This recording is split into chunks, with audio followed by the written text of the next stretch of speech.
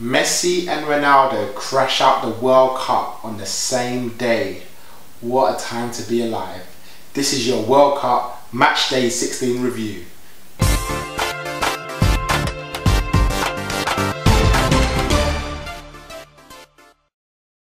So, we're into the last 16.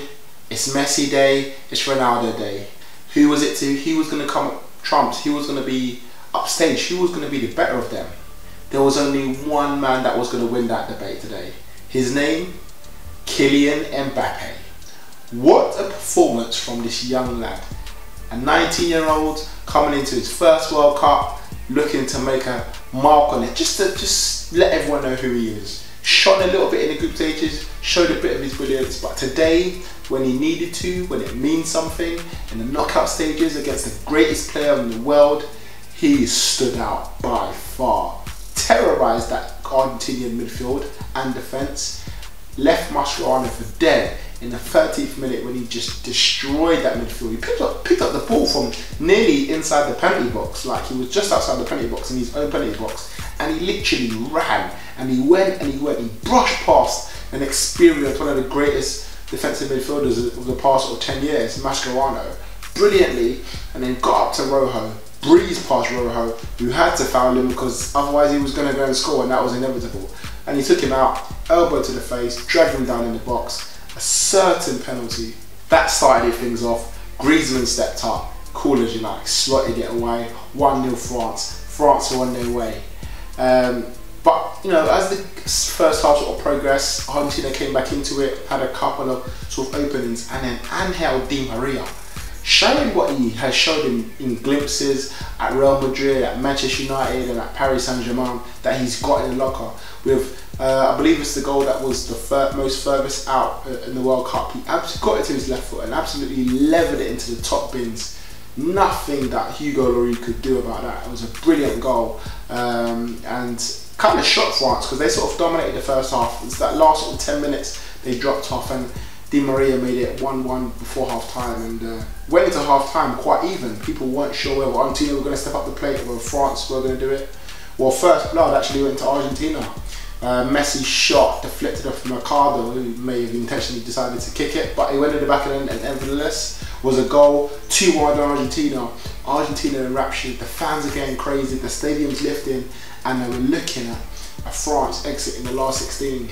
But then uh, they France pulled themselves back into it with a magnificent goal, one arguably one of the goals of the tournament, with Hernandez ran down the left wing, um, put in a brilliant ball, um, just kind of surpassed the strikers, and it fell to the right back of, uh, of, of, France, and you kind of just see the camera appearing at you're kind of thinking someone's coming onto this ball fast, and it's Pavard, and he hits it magnificently and there's an angle you get just behind the goal which you see the ball just slide as he slices it just curls into that corner.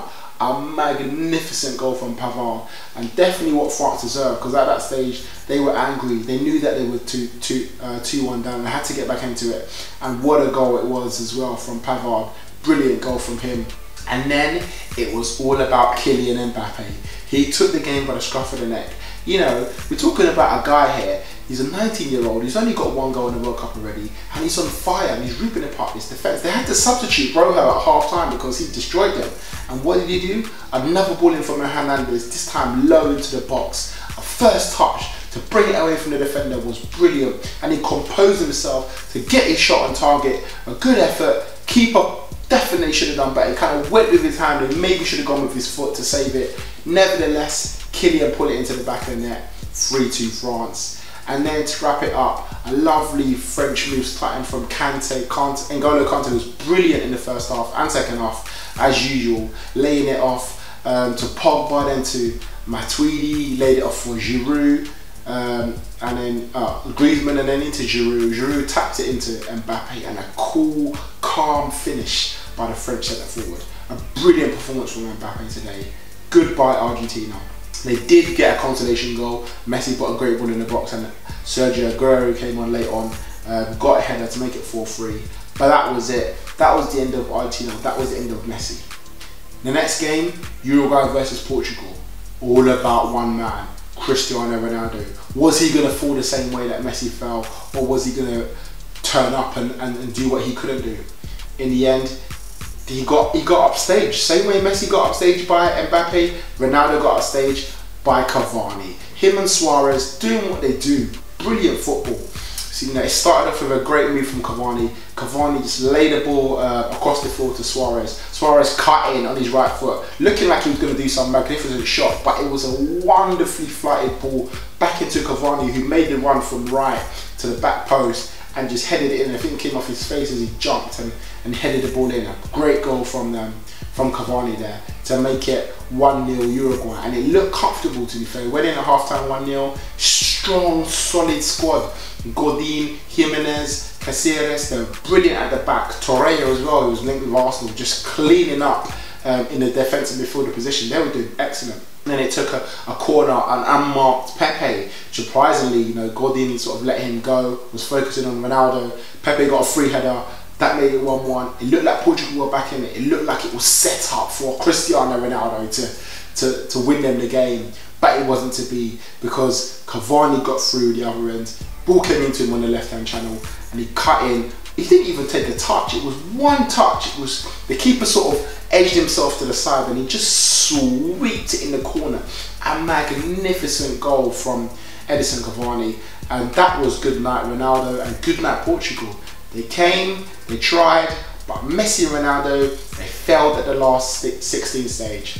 Unfortunately, Portugal and uh, Argentina are out. It's France versus Uruguay in the quarterfinals next stage. It's going to be exciting. Make sure you check out all of our videos, and we'll see you soon.